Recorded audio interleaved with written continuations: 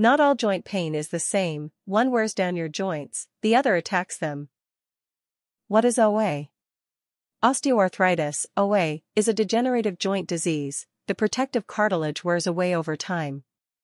Usually affects older adults. Common in knees, hips, spine, hands. Pain gets worse after activity. What is RA? Rheumatoid arthritis, RA, is an autoimmune disease, the immune system attacks joint lining.